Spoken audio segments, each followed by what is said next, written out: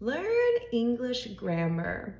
Learn the three main ways to use superlative adjectives.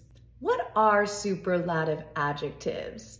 Superlative adjectives are adjectives that we use in English to compare a person or a thing with an entire group or the whole entire world. For example, Jimmy is the tallest boy in class. Out of all the students in Jimmy's class, he is the tallest. Or she's the most beautiful girl in the world. I'm comparing this girl with the whole entire world. And there are three main ways to use superlative adjectives. I call it the syllable rule. Sally is the smartest girl in class. He is the best musician in the world.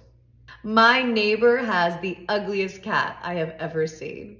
John and Lisa are the most intelligent employees we have.